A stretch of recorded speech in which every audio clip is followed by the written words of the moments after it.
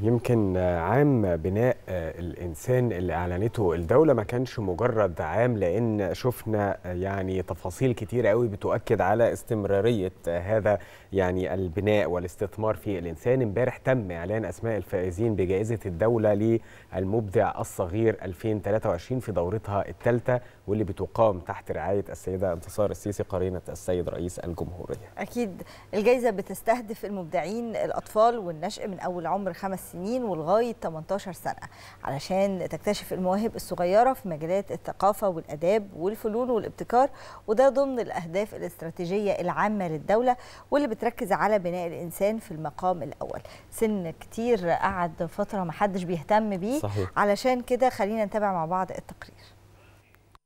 هذه الجائزة التي تكرس ما ورد في رؤية مصر 2030 في بناء الإنسان كما تؤكد دور القوى الناعمة في بناء هذا الإنسان وترسيخ هويته المصرية.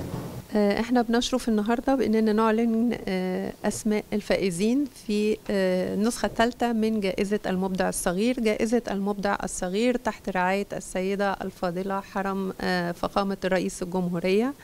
في النسخة الثالثة أسماء العديد من الفائزين نسبة كبيرة منهم من عواصم الأقاليم.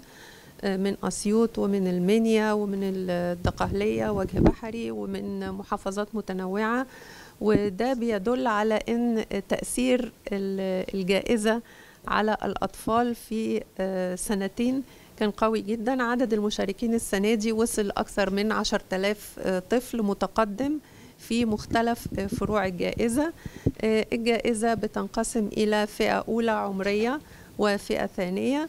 وفاز بيها مجموعة كبيرة من الأطفال زي ما قلنا كده من مختلف المحافظات وأغلبهم من محافظات الصعيد. أعلنت معالي وزيرة الثقافة أسماء 32 مبدع صغير تشاركوا في المنافسة الشريفة في مجالات الجائزة المختلفة. نفتكر إن إحنا عندنا ثلاث مجالات أساسية لهذه الجائزة. عندنا مجال الأدب وده بيشمل تحته القصة والمسرحية والشعر. عندنا مجال الفنون وده فيه رسم وغناء وعزف.